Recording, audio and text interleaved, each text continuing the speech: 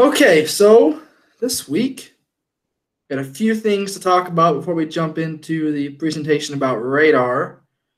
Um, let's do, we'll do this, yes.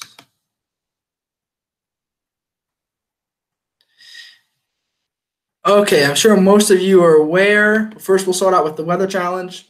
Um, if you're interested, uh, let me know. Email me or just tell me. I don't really care. Uh, five bucks a year.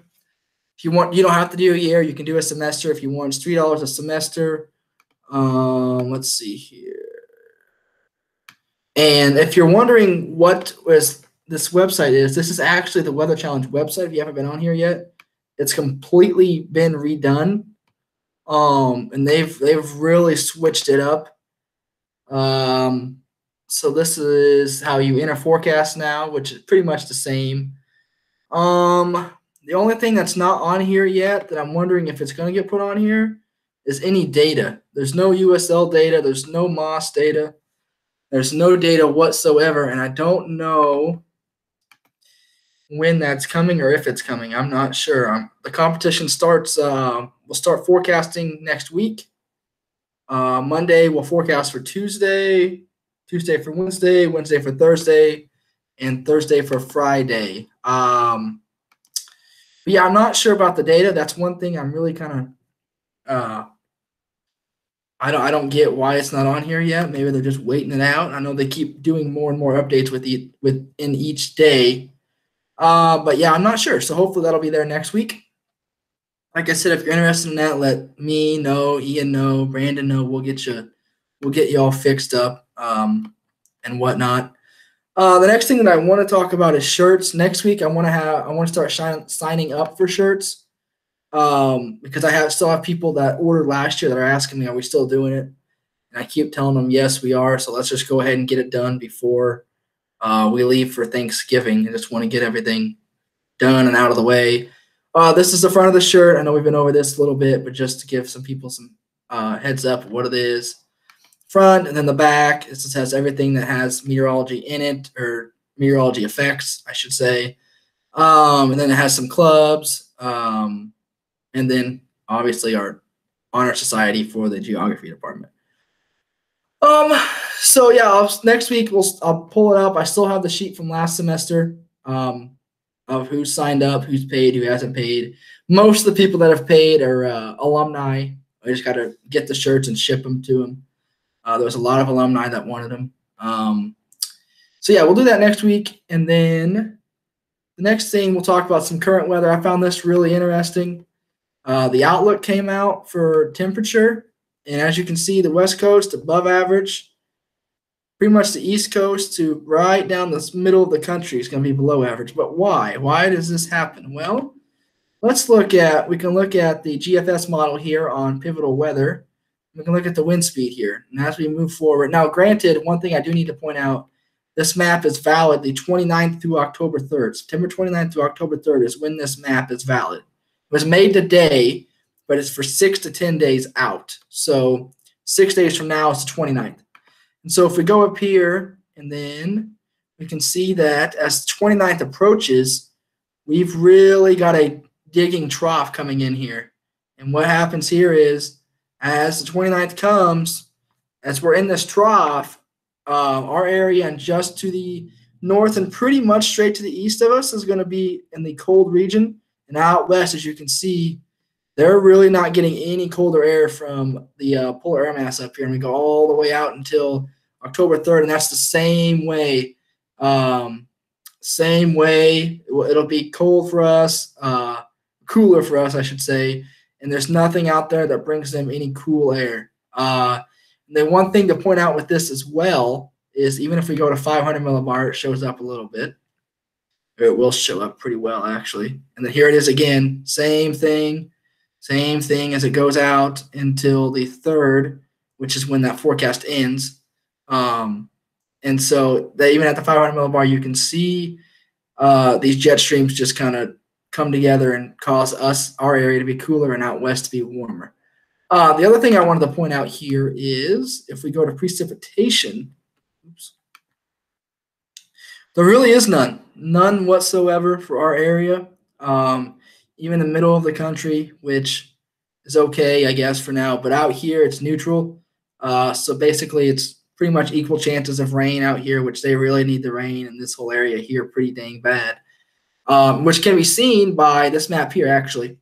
Uh, the U.S. Uh, drought monitor. Uh, so um, obviously for us, we've got some drought in the state. Our area, not, we're kind of almost in it and kind of almost out of it. I don't know if I click on it, if it actually do anything. It won't. Okay. Um, but those r- big rains that we had uh, about a week ago really helped out this whole area right through here. Uh, we were pretty bad, and uh, it really helped out. Um, we had well over three inches of rain that time. Uh, there was basically a, during a three day span, we had three inches of rain. Um, but uh, this map uh, gets released tomorrow. The updated version will be tomorrow. So I would expect that it would kick back in that this area right through here uh, would actually be up. And this area here definitely hasn't received much rain since the last time. Really, have, the whole state hasn't received any rain, probably in about a week. Um, so we'll we'll see what they say tomorrow as far as drought conditions go. I would expect this area to probably worsen a little bit. Uh, could stay the same. It's definitely going to get bigger as far as uh, the severe drought. It's definitely this is going to probably dip down into here and it's going to extend over into here. Uh, but as far as complications of that, nothing yet.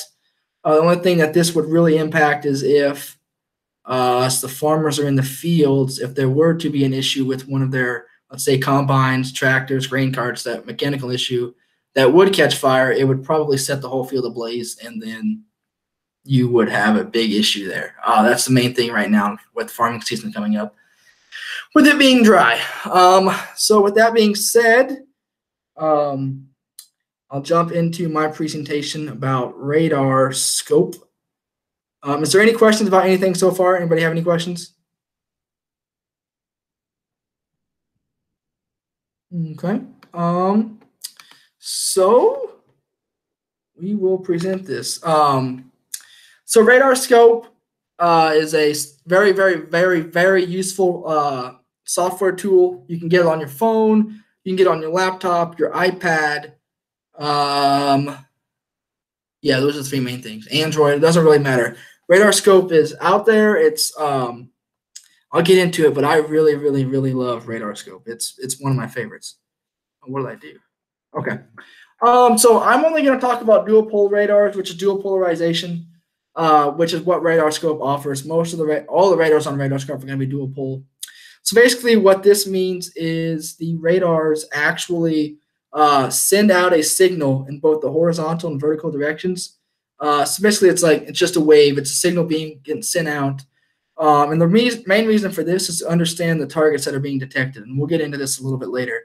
But that's the, that's the main thing. I think dual pol really became a thing within the past 10, 15 years, maybe 20 years, maybe not even that long ago. And it's really helped out our understanding of being able to differentiate um, what's going on in the storm. Uh, and I'll, I'll, like I said, I'll get into that. And it's, it's been, it's really, really useful and kind of amazing, really, how far radars have actually come.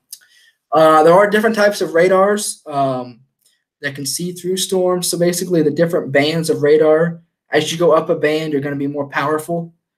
Uh, WI uses an X band, which is not nearly as powerful as, uh, let's say, the Weather Service radar, which is an S band radar. The S band radars typically are uh, price wise, you're looking in the millions and millions of dollars to get that. So the one that got destroyed in Lake Charles, that is a very, very, very expensive fix, which NexRad has all of those radar parts on hand. So they'll um, they'll be able to uh, fix that within. It's going to take a little bit, but they've definitely it's it'll it'll get fixed, but it's going to be an expensive fix to say the least. And I don't really know when our radar is going to officially be uh, ready to go. I haven't really heard much about it since uh, COVID started. I've been meaning to ask Dr. Finch, but I keep forgetting. Uh, yeah, already it's working. It's just not uh, out there yet, and it will eventually be on RadarScope once we get it figured out. Um, once we get everything all figured out, it will be on there, and that's going to be a great thing for us um, and for the people that storm chase in this area because it's it's just terrible. It's, um, the radar signal or coverage in this area. So RadarScope, in my opinion, and most people's opinion, it's going to be the best radar app. There are other radar apps that are coming up. Um, radar Omega is another one that's becoming more and more used. Uh, Reed Timmer actually endorses RadarScope, and I've bought RadarScope or Radar Omega, sorry, and I've bought Radar Omega. There's some aspects of Radar Omega that are very, very, very useful. Like they actually give you METAR reports, which is the temperature, the dew point. I think they also give wind, which is very, very useful when uh, you're out there storm chasing or looking at storms to see if they're gonna, you know, what they're gonna do.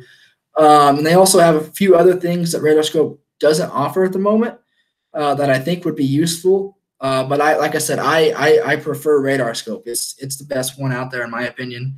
Uh, it has the super resolution data uh, that comes directly from the National Weather Service radars. I believe Radar Omega just has high resolution data until you subscribe. Once you pay their monthly fee or yearly fee, um, I believe you get the super resolution data in, and that does make a difference. The uh, high res data is more pixelated and it's not as it's not as clear as a picture as uh, the super res data would be. Uh, it does cost 10 bucks. It's a one-time purchase from uh, mobile, and then it's $30 on PC.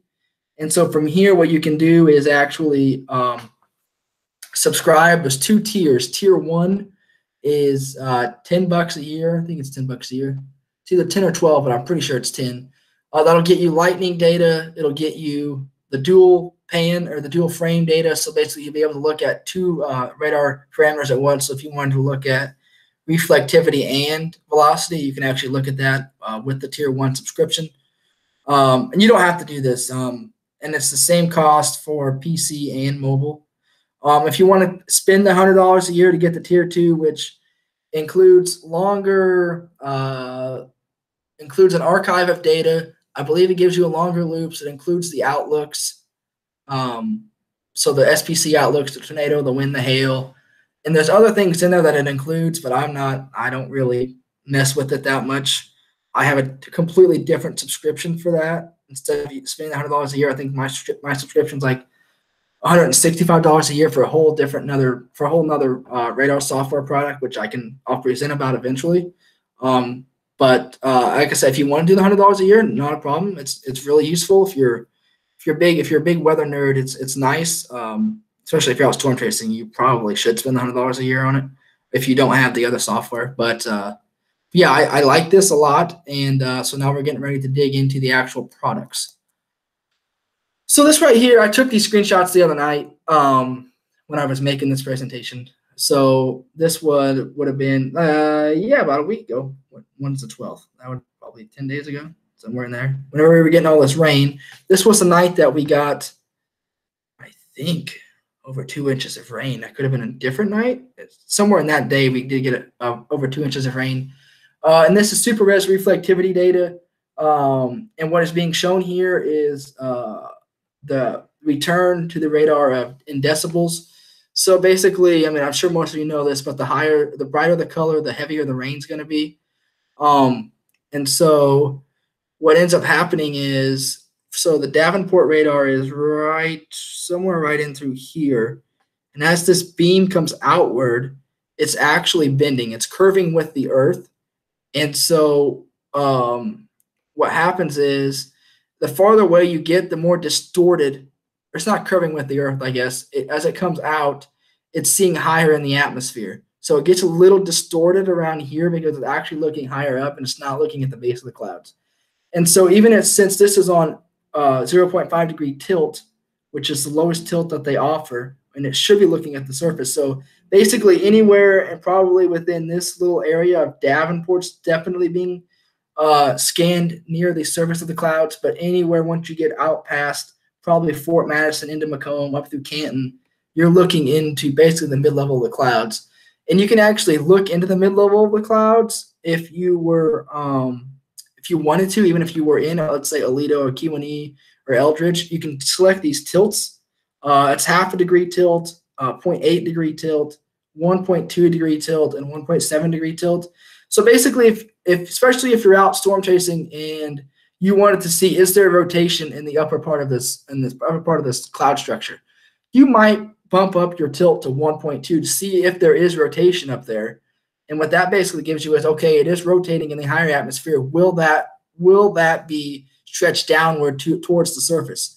And so you might go back and forth to see if it's getting stretched downward. And eventually, if it's at point A, then at point five, you see an rotation, thinking, okay, this storm might actually produce a tornado or something like that. So that's what the tilts do. And then reflectivity is just basically showing you uh, how how much rain's coming um, and uh, just yeah, the rain, the amount of rainfall really. Um, and so if you guys have any questions at all during this, just don't be afraid to jump in because I, I like to talk. So I can, I don't have an issue of just keep talking and talking and talking. So yeah, just jump in if you have any questions whatsoever. Um, okay, so the next product I want to talk about now, when we talk about RadarScope products, there are so many products. I only picked out the ones that I think are the most useful right now. There's so many. Uh, and some of them I really don't even know what they do. Um, but for the most part, the ones I've talked about or going to talk about, I know what they do, um, and i have used them a lot, so they're really really useful. And so the next one is this precipitation depiction. Uh, you can actually tell uh, it'll tell you if it's rain, snow, or sleet. So the rain will be the greenish, and then it'll pretty much look like the uh, base reflectivity. And then as you get into snow, it's blue, and sleet is that pinkish purplish color. Uh, well, yeah, pinkish purplish. Purplish is probably sleet and pink's ice. Uh, it's really, really useful in the winter, especially trying to figure out that rain snow line. That's basically what most people are going to use it for. And there's actually another tool I will show here in a minute that will give you another another uh, look into see where that rain snow line is. And most people won't think about it, but if you do and you actually look at this, you can definitely tell where that rain snow line is. And so uh, the next one is the super resolution velocity. So what this does, it tells you how the winds are turning in the storm. Um, you can see the directions of the wind. Green is toward the radar and red is away from the radar. Um, and if you have something that looks like this, this is definitely a tornado is more than likely 98% of the time going to be on the ground. And this tornado here, this is that Bassfield, Mississippi tornado uh, from near Easter this past year. It's a very, very high end EF4, possibly EF5. I don't even think they're done surveying this area yet. Um, and this is not my picture. I got it from off of Twitter from Mark Weinberg. I don't. I know I'm pronouncing his name wrong, but uh, but yeah, this once you get a tight couplet like this, that's when you know that there's more than likely a tornado on the ground. Um, and I almost 98% of the time, if it's like this, there's something big. You don't get you don't get tight colors like this whenever you get, especially when you start getting purple when it's supposed to be green. You know things are going to be getting out of hand, and then you get these pinks colors over here. Um, yeah, this this was a very very large tornado on the ground right here. Um, and I'll actually show you how we know we can confirm it from radar here in the next slide, maybe. Nope, it's coming up. Okay, so um, this is digital accumulation array. Um, it's the one hour storm difference of rainfall. So that first picture I showed you of the base reflectivity, this is what was showing up here. Uh, as you see here, more rain from just west of Keokuk is being measured within the past hour. This is a dual polarization product, so it's it, it's pretty high resolution. This is updated once per scan. So every time the radar makes a full scan, it's updated. Uh, so if you're wanting to know, is there flash flooding occurring right now in my area? This is what you would look for. Uh, this is what the National Weather Service would look at if they wanted to see, okay, this storm looks like it's um, producing a lot of heavy rain over one area. What is it doing? What has it done within the last hour? uh, what's it doing right now. And once you get the brighter colors in here, you know that there was a lot of rain, and chances are uh, it will show you. Uh, it, the National Weather Service will issue a flash flood warning. And the good thing also about RadarScope with flash flood warnings, if you click on the warning, it'll show you the radar product that the National Weather Service used to issue the warning. So if you ever if you get RadarScope and you actually want to see how much rain's falling, there's a flash flood warning in your area, you can choose uh, once you click on the flash flood warning, it'll either be the digital accumulation array or it'll be this right here, the digital storm total accumulation. Um, and so what happens is in that flash flood warning, they will put this product, either the, the array or the storm total accumulation in that product, and then you can go back and actually look and see, okay, what are the radar estimates for this storm, which is really nice uh, whenever you're thinking, you know, how much rain have we gotten? And as you can see here, the array had this area right down here, here just northwest of Quincy, as you know, that was their area for the last hour. But if we use the storm total accumulation, we know we can see here that just west of Cedar Rapids, they had a lot of rain earlier in the day, and that's what this is picking up on. It's picking up on earlier in the day rainfall totals. Um, and the other thing is, this does not update every scan of the radar. Typically, it'll probably be anywhere from eight to 12 minute updates. Sometimes it's faster, sometimes it's not. It just depends what they have their radar um, set in as for as for the event. So some some radars they can turn the radar to actually produce uh, faster images.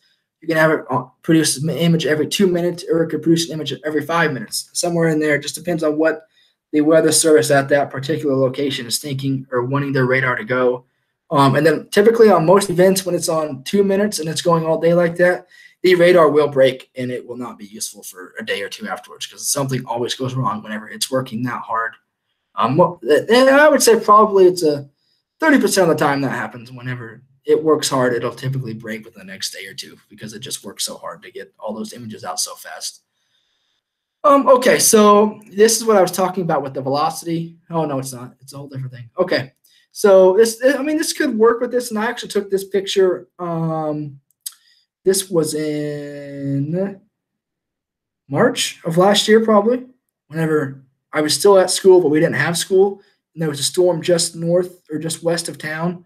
Um, so this actually will tell us, uh, it'll differentiate between vertical and horizontal particles. So it'll tell us between rain and hail is the main thing. Uh, that's exactly what this will pick up. Uh, so the, basically the two circle regions here are what we need to look out for. So if you have these images like this on dual pane and use the top image, you see those bright colors there. The bright colors that are circled, that's actually inflow into the storm. And the other color right, the other circle right above it, that is actually going to be hail. And if we look at the reflectivity below, we can actually see that's probably the 100% case because the top circle is in a area of high DBZ value, which typically indicates hail if it's going to be pink like that.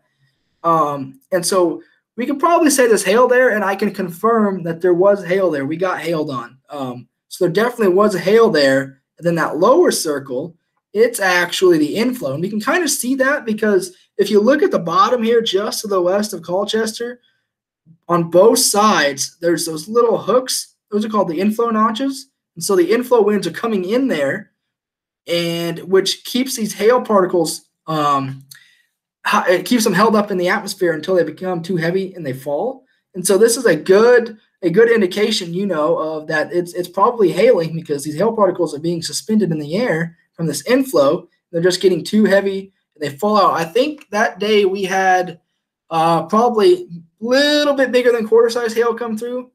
Probably not golf ball, maybe a few golf balls here and there, but it wasn't wasn't anything uh, bigger than golf balls for sure. But there was a report this day in somewhere just somewhere near Burlington they, they had softball size hail that day. I didn't I, I don't know if it was ever confirmed somebody, I think one of the emergency managers uh, sent into the weather service was softball size hail that day. So we were really hoping to catch some baseballs or softballs, but we took uh, quarters and some maybe maybe a few golf balls here and there.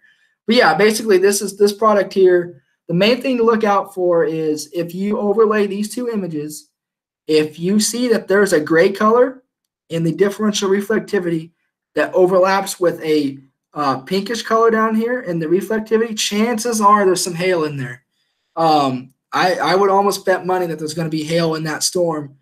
And for the most part, it, it there probably there is hail in that storm. So just that's the main thing to look for when you're looking at differential reflectivity. It do the gray areas line up with the pink areas, and is there a brighter color somewhere near that gray area? Um, and if there is, that's the inflow, and then the gray area that's uh, overlapped with the with the higher DBZ values is hail. That is the main thing to look for here.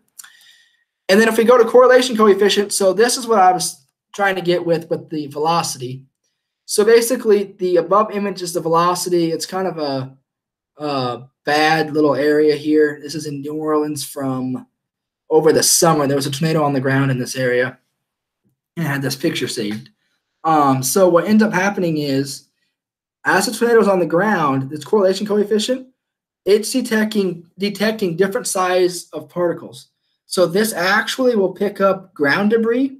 So if a tornado moves through, once you get these green, blue colors down here in areas where this couplet is overlaid, so if you see this couplet and you overlay this with correlation coefficient and you see these two match up, this is what the National Weather Service is going to call a radar confirmed tornado. Because this is basically telling them that this tornado is on the ground and it is pick it is picking up debris, whether that be trees, houses, um, any anything that the tornado can destroy that gets picked up in the atmosphere. This correlation coefficient will pick it up on radar. It'll, it'll show it on radar. Oops. And so what happens is that yeah, the weather service will say this is a radar confirmed tornado because that there is a. It's also called the debris ball. So if you ever hear the word debris ball, that is exactly where it's coming from, from the super correlation coefficient. Um, and the debris ball might not be this uh, entirely, but it'll, it'll it's it, it pretty much the same thing. Uh, but the debris ball is basically from uh, super red or from base reflectivity, but this is pretty similar to the same thing. Um, and if you ever hear a tornadic debris signature, that is this. This right here. It's it's very very useful when trying to see okay, is there really a tornado or is there not a tornado? And you might get the very smallest um, very smallest bluish greenish colors, but that's when you know there was a tornado there. Uh, so it's very nice, uh, very nice product to have in your back pocket when you're storm chasing. Uh, so basically, just be like, okay, you know, I see that there is a couplet. Can I see that the, if there is a uh, tornadic debris signature? And if there is, that's where you want to be because that chances are where there's a tornado. And the next one is the hydrometeor classification. Um, so I don't use this a whole lot, but it is kind of useful to know. Uh, basically, it can tell you what the precip type is. Now, there's two different ones. The one, the image on the left here is the hydrometeor classification, and the image on the right is the hybrid hydrometeor classification. Um, so if you're going to use this, all these colors down here, these all represent different items, and I should have them in order here. The, the gray should the light array should be clutter, and then you go to ice crystals, and you go to dry snow, wet snow, light rain, heavy rain, big drops, graupel, light or hail slash rain, large hail, and giant hail. Uh, this was really the only image I had available of the of this that I found online. Um, and it's from somebody that actually is on RadarScope. So this is not my image, and I can't really see his name right now to give him credit for it, but it is down there. Um, and so this basically, from my understanding, is the image on the left. Uh, most of these colors here probably aren't there. Uh, but if you, I mean, obviously, if you compare it with the image on the right, that is probably what it is. They use different algorithms to get these images. And so if you if you're out, you know, if you see a storm's coming near you, you're out storm chasing, and you use this hybrid hydrometeor classification, um, and you see that you're getting some red or yellows or even purples, that's when you know that this thing is saying, okay, based on the water in the atmosphere, this is actually producing some hail, maybe even giant hail, uh, which is can be useful if you're in your car and you want to get the heck out of there so you don't get pummeled by hail, or if you're like me and you want to sit and get pummeled by hail. I mean, either or. I mean, I like some hail. So, um, so yeah, this right here is basically just showing you uh, basically the precipitation that is depicting within the atmosphere. Uh, and, and unlike the uh, the other one I showed you with that can depict, you know, rain, snow, and stuff, this actually picks out the bigger particles, the actual drops, the stones from the hail, the graupels, um, anything like that, which is really nice when you're out there. But you know, uh, this one's not used a whole lot by me, and probably not a lot by others, but it, it is useful to know that it does exist. Now, this here the enhanced echo tops, this is what I use almost, oh my goodness, all the time. This is this is the one that I'm looking at constantly whenever whenever I'm seeing storms develop, and you can actually see storms go absolutely nuts on this. So this gives you the values of the tops of the clouds. So basically the bluer, greener colors are at the lower of the spectrum. But once you get into the orange and the yellows and even the reds sometimes, the reds are pretty rare to get into, but if you do, chances are this will tell you how strong the storm's going to be. So this was that uh, original base reflectivity image I showed. Uh, as we can see, you know, the rain moving through, really, they didn't have that high of a uh, cloud top, so they're not going to be any strong storms. But this is how you can tell if a storm is going to be strong. If you have a storm that, if you have a cloud that's typically greater than 50,000 feet, um, you, it, it's, it's, chances are it's going to be severe. Um, and if it's not severe, it's going to dump a lot of rain and probably some small hail in your area, and you might get some strong winds.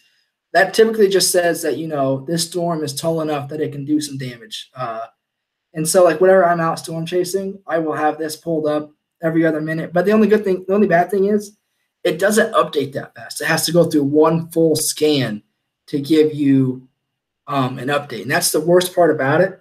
But it is so useful in seeing where storms are developing as well so you might see these images, these colors, these cloud tops on on this, but you will not see them on reflectivity because it's not raining. And so if you're out there and you know you're like you're like okay, I see a storm developing, and someone's like, well, it's not on reflectivity.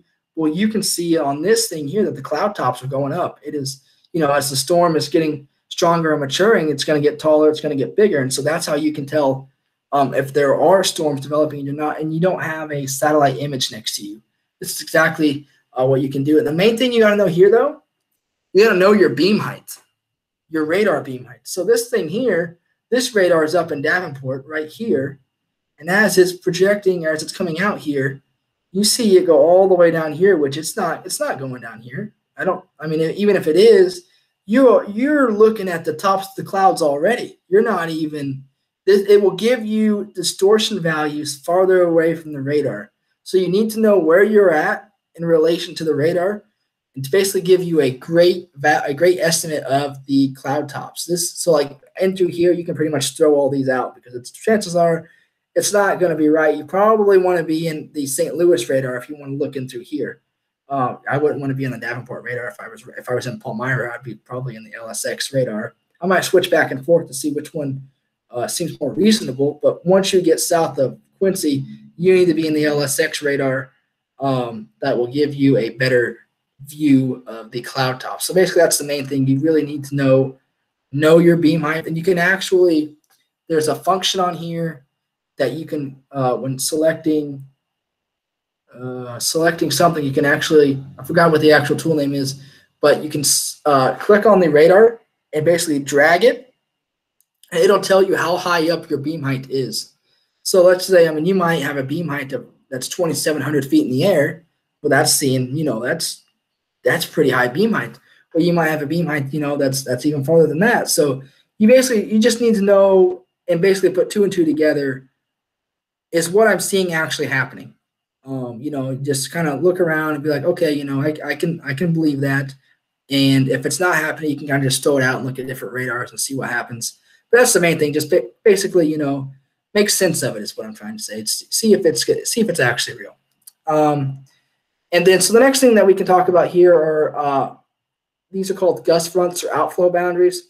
So if you look at this little green line here, that's basically just west of Waverly, going to Palmyra, about to enter Carlinville. These are called gust fronts or outflow boundaries. So what happens here? This is rain cooled air that is being uh, pushed out in front of a moving thunderstorm line or squall line. They're either called gust fronts or outflow boundaries. And chances are, what ends up happening is as these uh, rain cooled air boundaries move, propagate forward, it's actually cooling the air in front of this. So any of the air that gets sucked up into this storm is cold. And so nine times out of 10, these things are going to die off. The storm behind it will die nine times out of 10. There are exceptions. Um, Mother Nature isn't always nice. She kind of likes to make fun of you sometimes. So there's some these will show up pretty. They're pretty common in the late season in July around here. July, July, August. You know, maybe late June. Um, basically, whenever there's not enough shear in the atmosphere to keep these things organized, these things will happen. They will come out. Um, like I said, it's rain cool air rushing out from from this thunderstorm because it's just not moving that fast. Um, and some move fast and still have them. So basically, it, it it's it's on the day. I mean, you might these are very very easy to pick up on radar.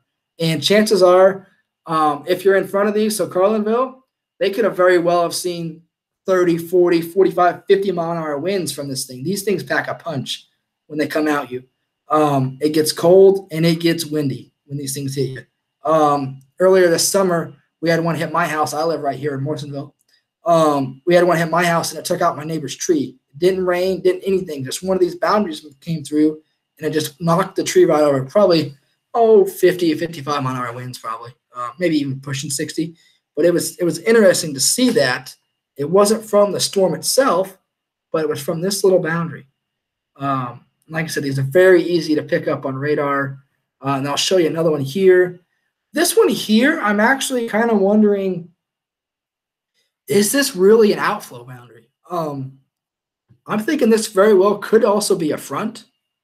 Uh, sometimes if the fronts are orientated the right way, this could be a warm front advancing or it could be a cold front. I, I don't really know if this is a front or if it's a um, gust front or outflow boundary, if it's an actual warm front or cold front.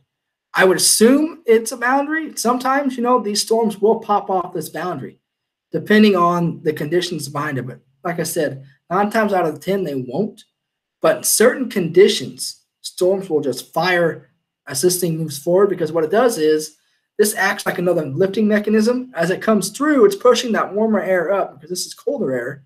And as you do, you know, you get your air particles to rise, and then you're going to have storms and rain. So it's it's it's hard saying what this really was. I would say it's still a gust front, um, but it, it's a very very interesting case of one. Now you'll have these every now and then. This was in May, so basically in May, it's very very possible um, to have storms fire off of these. Um, it's it's there. You never know what you're really going to get until the day happens. And like like this day here, they got a lot of rain up there near Bloomington, in between Lincoln and Clinton. Um, and I think I was actually in Kansas this day. I saw this on my phone, and I was like, okay, you know, that's kind of cool. So I saved this image um, just as future reference. Um, and this here, this actually is happening around here. If you look at um, the Lincoln radar, the Quad Cities radar. I think those are the two radars that come in. I don't know if Chicago might catch the ones near Galesburg, but um, it was random and I made this so I couldn't get get ours to show up. But these little things here, just north of Cheyenne Wells, just south of Colby, right into here, east of Hugo, north of Limon, these are wind farms. Um, and they will show up on radar. And so these are just stationary objects as you see, they're not moving. They're not moving at all. They're going to be there. They're staying there. They actually just create their own little weather. As these things move, it distorts the atmosphere that the radar is seeing, and it'll it'll show up as reflectivity. But it's not raining there or anything. It's just it's just the wind turbines operating. So There's nothing we can do about it besides if we wanted to raise our beam height up, which is what we're doing here because of those new ones just north of town. We actually have to raise our beam height up to make sure we get above them so that way we're not getting interference from these all the time. And I've actually talked to people from the National Weather Service, and they are not happy about wind farms. They hate them. I mean, they say, you know, it's good for the environment, but during severe weather, these can actually screw with screw with the weather. So what happens is, as a storm moves into these, it actually might look like it dissipates. And if you remember correctly, if you remember the uh, tornado on December 1st of 2018, I think that was almost two years ago. There was a guy from News Channel, I think it was News Channel 20. Yeah, News Channel 20, I think. Yeah, no, I, I, it was News Channel 20 WAND TV out of Decatur. Um, they said as this storm was approaching Decatur, it was weakening, or as it was, you know, approaching and leaving Decatur, it was weakening, but it actually entered wind farms over there and it showed like it was weakening. And I talked I talked to people from the weather service, and they were not happy with this meteorologist that said that because they knew it entered the wind farm, and they knew that the wind farm was actually affecting how it was showing up on Doppler radar. They knew it wasn't weakening, but whoever that meteorologist was didn't realize that it was entering the wind farm, and that is why he said it was weakening. And the other meteorologist on a different channel knew it was, and he said he didn't mention anything about weakening but he um, uh, yeah, they were they were not happy about that incident, and they're not happy about uh, wind farms in total. One meteorologist from the National Weather Service I talked to actually said he wrote a letter to Congress asking them to please tell the people that run the wind farms to turn them off during severe weather. You know, if they if they could turn them off during severe weather, that would be the greatest thing they could ever do. He said, you know, it would help us out. And I mean, obviously, they're not probably won't be on anyway. You get winds that are just destroy the the turbines off of them. But um, yeah, they, he said he wrote a letter to Congress. I don't really, I haven't talked to him since then. Uh, what happened with that letter? But yeah, he was he was he's very adamant that he does not want them on during severe weather because there's also a whole bunch of them near Lincoln, and he was from Lincoln, uh, or he is from Lincoln, and yeah, he he wants them turned off fast, and especially during severe weather. Like he said, he didn't care if they were on, but during severe weather, it just screws with the way the radar sees the storm.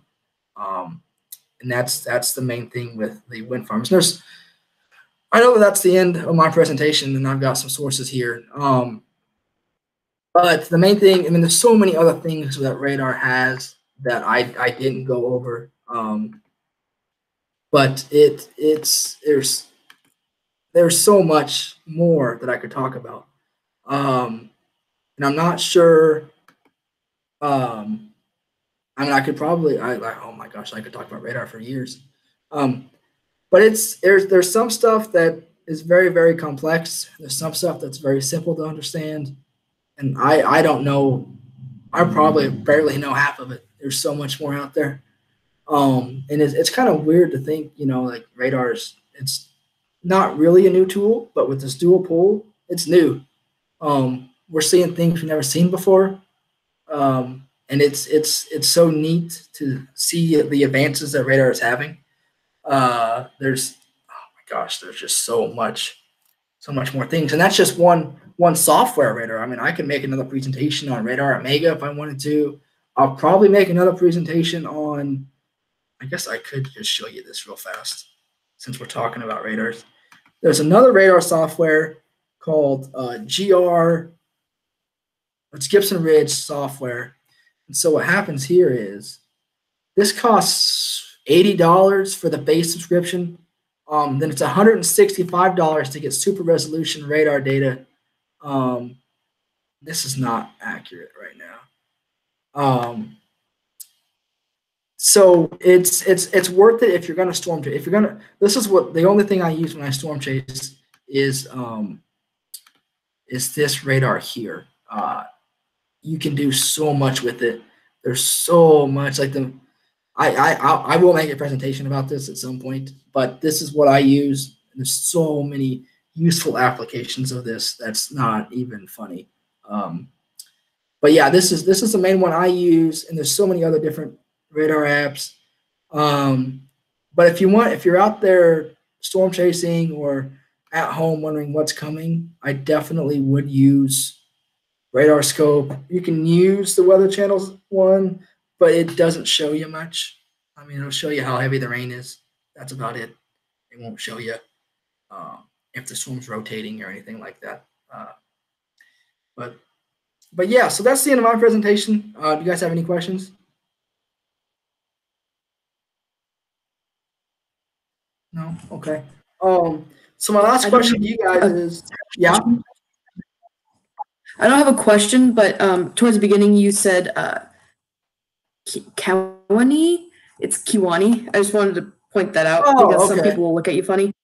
Okay. No, I, I, I, I call it I call I call it Kewanee occasionally, but uh, I guess today was not one of those days. So, um, um, so um, next week, what do you guys want to do? You guys want to try to play games next week? Do you want to do another presentation?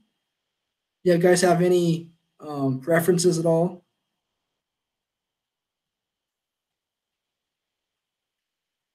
I mean, I really don't care, honestly.